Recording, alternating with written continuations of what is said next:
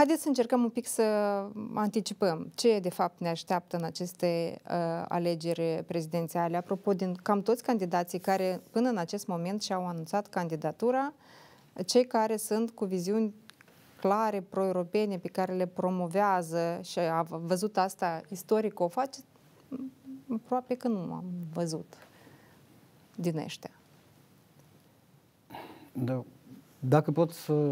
Nu știu, cum să, unde să-l pun pe Andrei Năstase? Pur și simplu de aici m-am... m-am... Deci, uh, Pentru că retorica din prezent e o leacă diferită. Da, e diferită, dar iarăși, atunci când societatea e polarizată și cetățenii trebuie să...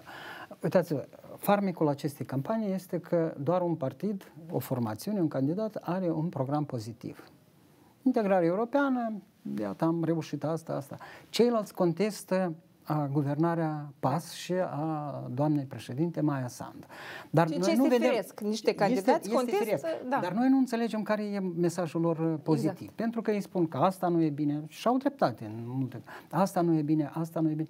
Dar ei uh, fac abstracție de anumite legi politologice.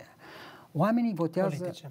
Politice, da, politice. Oamenii votează de obicei Politologie este un trip care... Pornind de la, pornind de la uh, arhetipul, arhetipul, arhetipul care uh, mm-hmm. deci, este ascuns undeva adânc.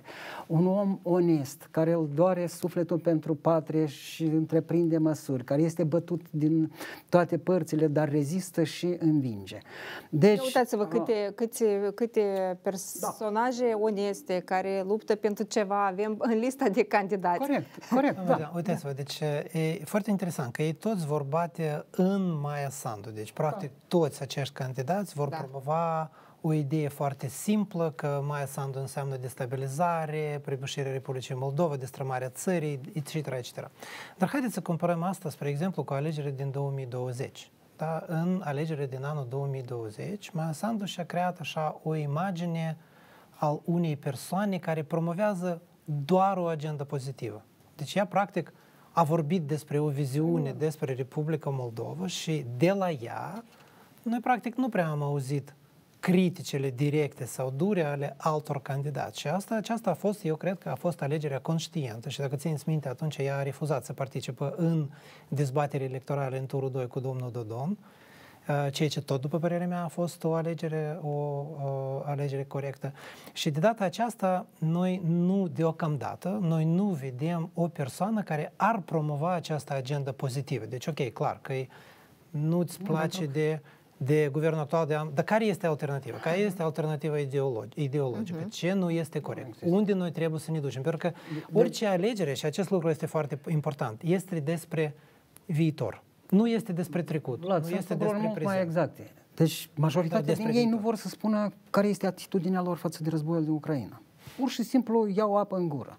Deci un program pozitiv, dacă te uiți acolo, vezi, vezi promisiuni de a rezolva probleme sociale, ceea ce nu intră în competența președintelui, da. sau de a rezolva probleme ale justiției, ceea ce nu intră în competența... Dar și mai este a promis... Eu am ascultat, da. eu am ascultat foarte atent. Este adevărat, a promis, a promis anterior și noi am ajuns la concluzia, când am făcut un screening la promisiunile mai înseamnă, mai mult de jumătate din promisiunile ei, nu aveau absolut nicio fel de legătură cu atribuțiile președintelui.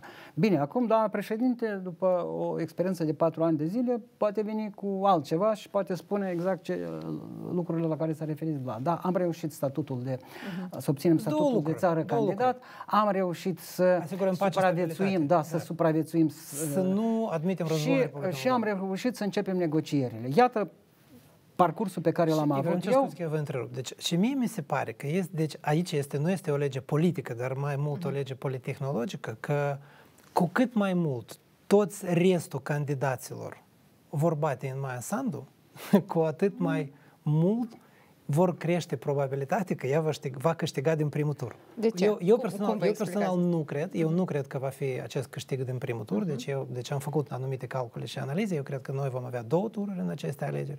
Dar iată, dacă ei, deci toți acești candidați, de fapt, uh, când ei vor bate în Maia Sandu, și dacă ea nu va răspunde la aceste atacuri, o să vedeți că acest lucru va avea un efect invers, pentru că fix așa s-a întâmplat în, în mai multe campanii în, în Și mai există un factor, Vlad. așa cum spuneam, sunt subiecte pe care ceilalți candidați nu vor să le atingă, pentru că nu au ce spune sau să tem să spună acest lucru. Și mai există un factor foarte important pe care chiar și în prezența ta l-a, menționat ambasadorul Ucrainei în Republica Moldova. Dacă Doamne ferește, în Republica Moldova vine la guvernare o forță politică uh, anti-europeană, Republica Moldova va fi izolată.